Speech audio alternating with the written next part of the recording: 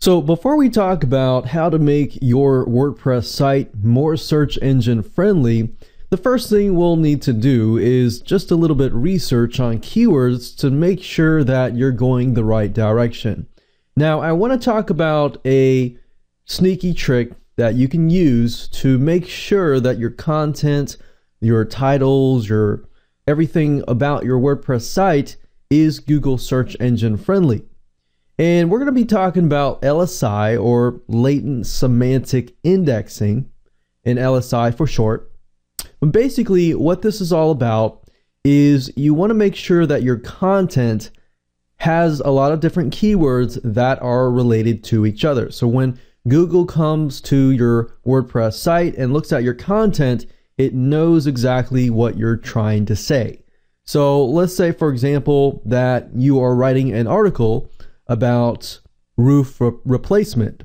So obviously, you need to have the word roof, you need to have the word replacement, but not only that, you need to have other words such as shingles, nails, and other things that relate to replacing a roof.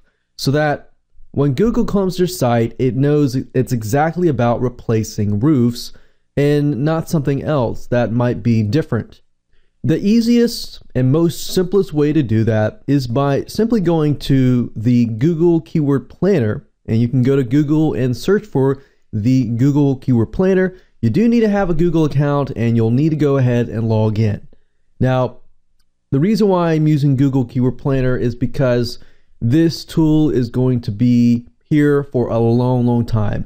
And what a better way to get keywords than from Google themselves. So, what you want to do is up at the top, you will have four different options here, but you'll want to choose the first one that is search for new keyword and ad group ideas. So, in essence, Google has already created for you ad groups. So let's say, for example, roof replacement.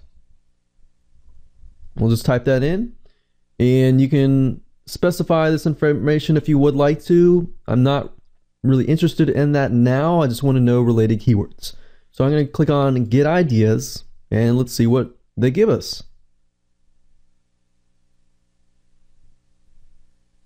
Now, you can look at the ad groups if you would like to. The first thing I want to look at is the keyword ideas, because that'll give us an idea of the database that Google has of keywords that relate to roof replacement. So, if roof replacement is our general WordPress site, then we can kind of get an idea of different articles that we could write on. So, we could write on articles on roof replacement costs and you can see different variations of the same keyword.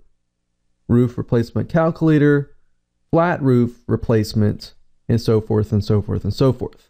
So obviously we see different types of roofs and it's mainly about estimates and different types of roofs, how to repair roofs, and the cost and so forth.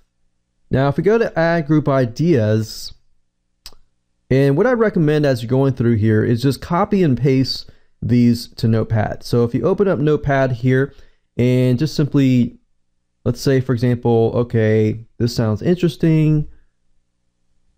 Maybe I'll do something about roof replacement costs due to, you know, repairs and such like that.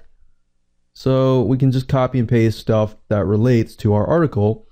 And right now, it's not really the intent of trying to figure out what article to write on, but just grabbing a bunch of keywords that Google has in their database. Because you can always go down later down the road and write content about this down the road. But what we're trying to find are keywords that they deem as related to the main keyword. Okay, so roofing materials. Click on that. That gives you a list of keywords that you could potentially use in your article as your title, as in your description, and more. So you see where I'm going here? You're really using the Google Keyword Planner to get an idea of related keywords.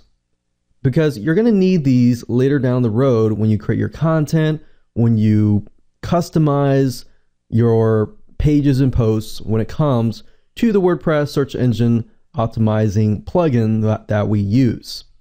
So hopefully that gives you some ideas on getting keywords to be used in your WordPress site.